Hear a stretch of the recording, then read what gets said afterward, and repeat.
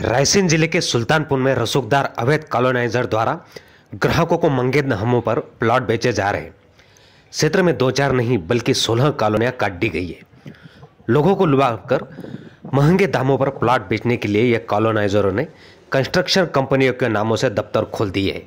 रसूखदार coloniser बिजली, सड़कें, नल जैसी सुविधाएँ उपलब्ध नहीं करवा पा रहे पर लोगों को झूठे सपने दिखाकर बगैर रजिस्ट्री के प्लॉट महँगे दामों में बेच रहे हैं।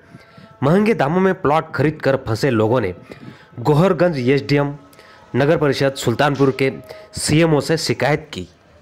यहाँ ये लोगों की गुहार नहीं सुनी गई तो पीड़ित लोग रायसेन जिलाधिकारी अरविंद दुबे से मिले और रसूखदार कॉलोनाइजरों पर एफआईआर दाखिल कर प्रशासन से अपनी मेहनत की गाड़ी कमाई को वापस दिलाने की मांग की।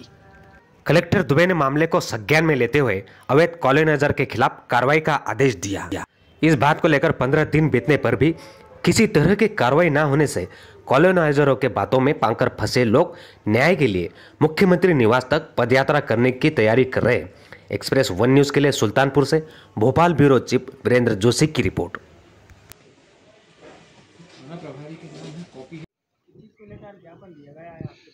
हम यहाँ पे ज्ञापन देने आए थे कि हमने सुल्तानपुर में प्लाट लिया था वृंदावन नगर में।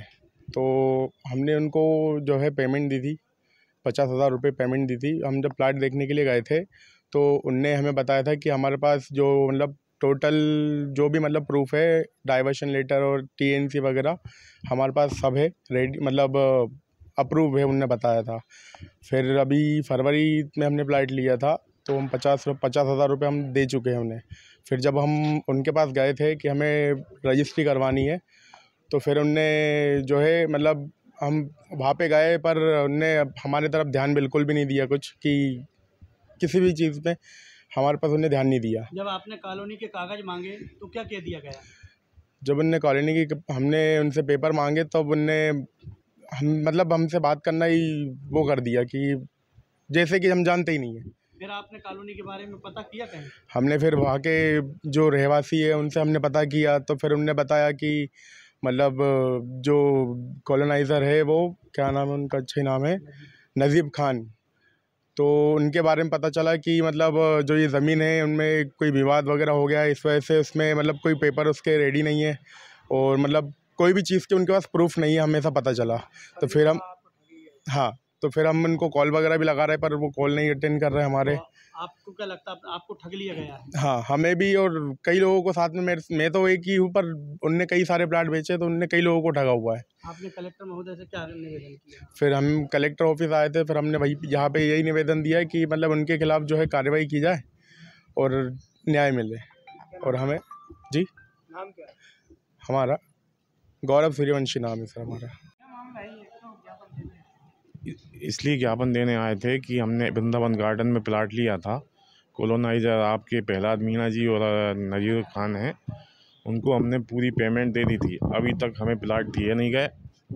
और हर बार उनके पास जाते हैं आश्वासन दिया जाता है प्लाट देंगे प्लाट देंगे आज तक कोई प्लाट नहीं दिया गया। अच्छा फर्जी कॉलोनी जी वहाँ पे के लोगों द्वारा किया गया फर्जी कॉलोनी है। और यहाँ पे किसी प्रकार का कोई मतलब हम हर बार जाते हैं हर बार प्रलोभन देते हैं कि हम देंगे देंगे और अभी तक कुछ नहीं दिया उन्होंने। कागज़ हैं उसके डाइवर्सन वगैरह अनुमतियाँ हैं? नहीं का, हम कागज़ नहीं कुछ मन हमने उनसे मांगा कि इस प्रकार की कुछ कागज़ हैं आपके पास? उन्होंने कहा हमारे पास कोई कागज़ नहीं ना कागज़ दिए गए उन्होंने उनके द्वारा हमें। अब आपने कलेक्टर महोदय से क्या निवेदन कलेक्टर महोदय से हमने कहा कि हमारी हमारा हमारी सुनवाई की जाए कि हम इतने दिन से उनके पैसे दिए थे आज तक उन्होंने ना प्लाट दिए ना हमारे पैसे वापस दिए उन्होंने। क्या फर्जी कॉलोनाइजर हैं क्या जी फर्जी फर्जी कॉलोनाइजर हैं। कितने पैसे दिए हमने उनको फुल पेमेंट कर दी थी पचास हज़ार रुपये अच्छा, पैसे मांगने पे क्या कहा? पैसे मांगने पे कहा उन्होंने आश्वासन दिया अभी तक कुछ आश्वासन नहीं आश्वासन दिया है और कुछ क्या नाम है? नहीं योगेंद्र कुमार श्रीवास्तव। सर सुल्तानपुर में कॉलोनाइजर नजीब खान द्वारा अवैध रूप से कई कॉलोनियाँ काटी जा रही हैं, जिसमें आज आपको आवेदन भी, ज्ञापन भी दिया है इसके ऊपर कार्रवाई करने के लिए। कोई परमिशन नहीं, कोई अनुमति नहीं है। क्या कार्रवाई की जाएगी? देखिए, अवैध कॉलोनाइजेशन के बारे में तो शासन के नियम बड़े स्पष्ट हैं और बड़े कठोर हैं।